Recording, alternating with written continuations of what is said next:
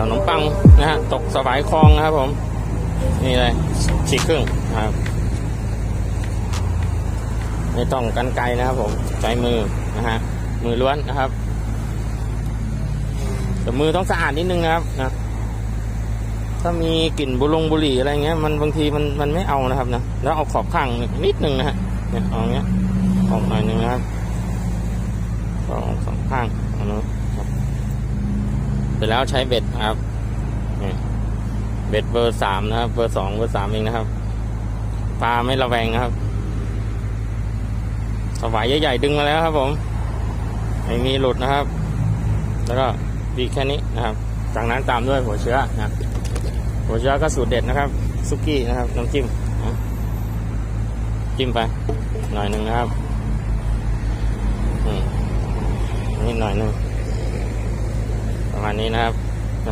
จากนั้นก็ตีไปนะครับนะมารอรุ่นกันครับผม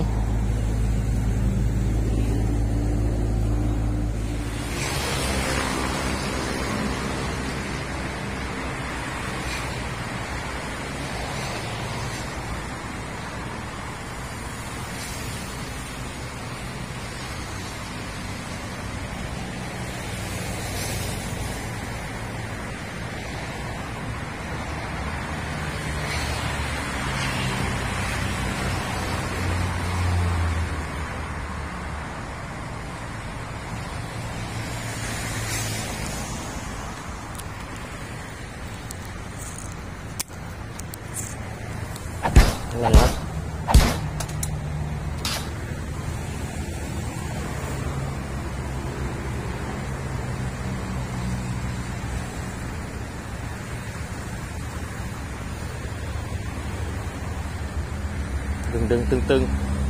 วัดสิครับ